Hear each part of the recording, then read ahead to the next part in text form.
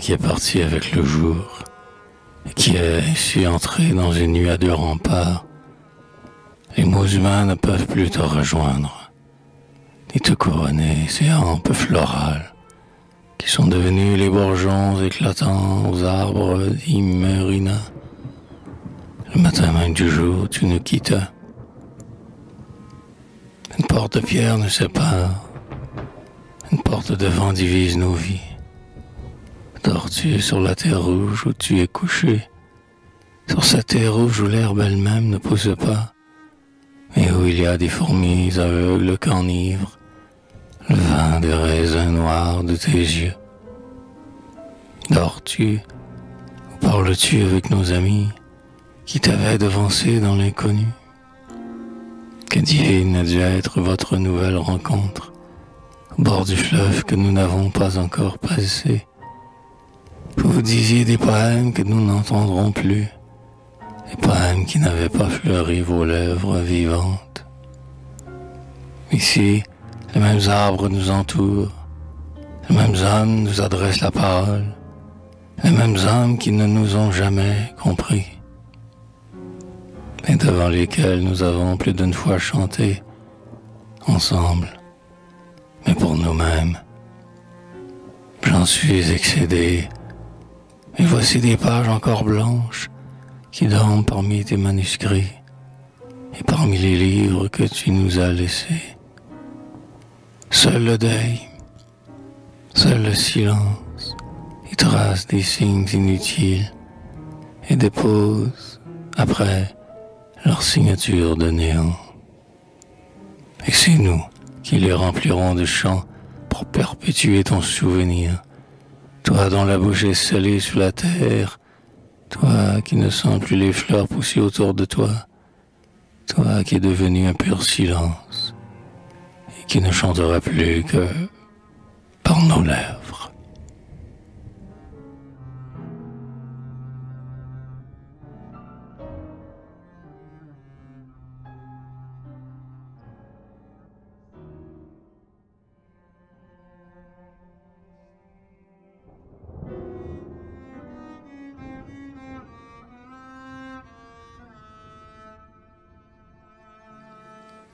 Une jeune femme morte au bord d'une mer septentrionale.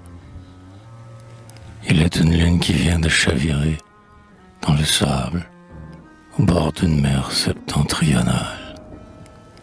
Mais il est une étoile née d'elle qui nous est restée et qui lui ressemble comme une image. Enlisée, il est une pirogue d'argent renversée qu'emprisonnent les racines des palétuviers, qui nourrit et embellit la vieillesse des arbres avec sa propre jeunesse perdue.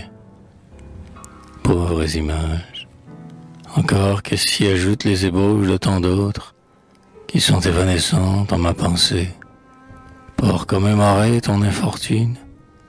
Ô jeune femme, ô jeune femme, qui a fermé les yeux à la lumière tandis que le soleil naissait dans les palmiers et que le bruit de la mer y cherchait un reflet sonore. Maintenant, c'est le silence des coquillages qui t'entourent, ouvrez le cherbu par les coraux.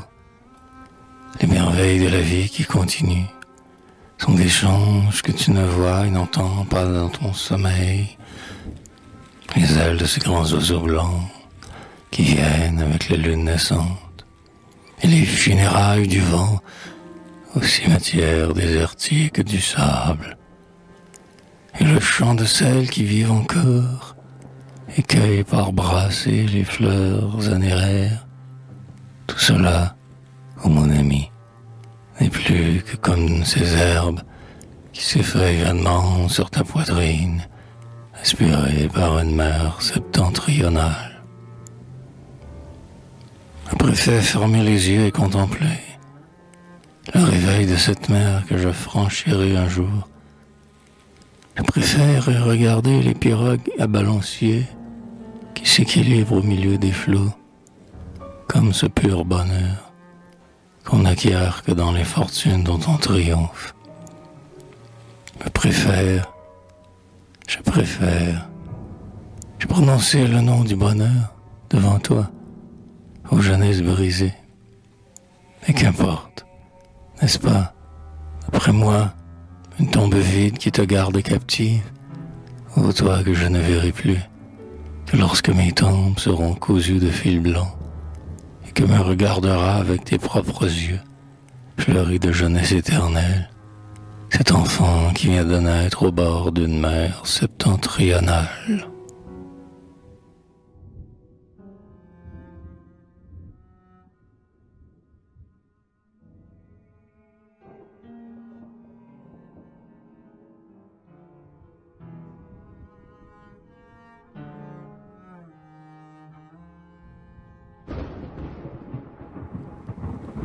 Une petite physique une poignée de cendres déposée sur une pierre froide qui ne fait même pas vivre une cépée d'herbe.